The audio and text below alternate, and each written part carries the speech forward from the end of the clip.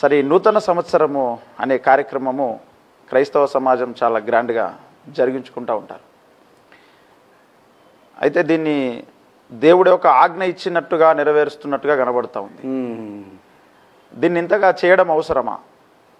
అవసరమా అంటే దాంట్లో లేఖనము నెరవేర్చుట అనే రెస్పాన్సిబిలిటీ అయితే లేదు.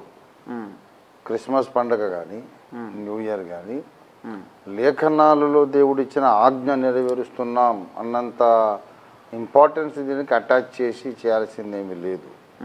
ఒకవేళ ఒక క్రైస్తవుడు జీవిత కాలంలో క్రిస్మసే చేయలేదు న్యూ ఇయర్ పండుగ చేయలేదు ఏదో మౌనంగా ఇంట్లో ప్రార్థన చేసుకొని కొత్త సంవత్సరంలో ప్రవేశించారని దేవుని స్థుతించి ఊరుకున్నాడు. దానికి దేవుడు లెక్కడగడు దానికి గద్దింపు ఉండదు శిక్ష కాదు శిక్ష రాదు.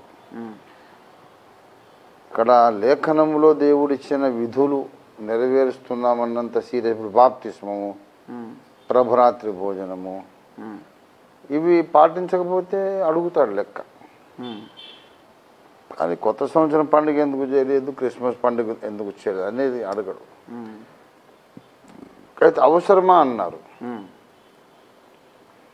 ఇప్పుడు సమాజముగా కూడటం మానక ఆ దినం సమీపించిన కొలది మరి ఎక్కువగా అలాగూ చేయమని కూడా పౌర హెబిరి పత్రిక. పదో అధ్యాయం చెప్పాడు. అందుచేత మరి సమాజంగా కూడాలి. అవకాశం ఉన్నంత ఎక్కువ సార్లు కూడుకోవాలి. అందులో ఒక సంవత్సరం అంతా దేవుడు కాపాడినందుకు మనం సమూహంగా సంఘంగా మనం కలిసి దేవుని స్తుతించుకోవాలి అనే ఒక సదుద్దేశం. దానివల్ల నష్టమైతే ఎవరికి లేదు. ఒకవేళ ఇప్పుడు కోవిడ్ కారణంగా అసలు బహిరంగ సమావేశాలు లేవని అనేసారు అనుకోండి ఎవరింట్లో వాళ్ళు దేవుని స్తుతించుకుంటాము. అవును.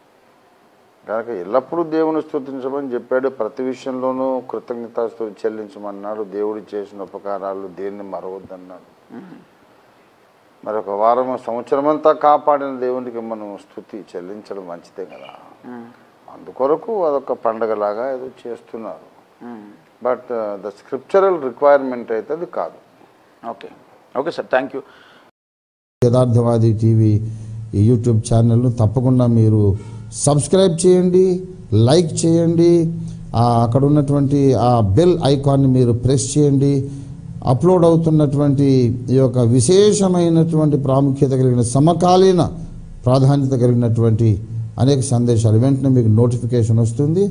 So without fail please like and subscribe the Yatharthavadi TV YouTube channel God bless you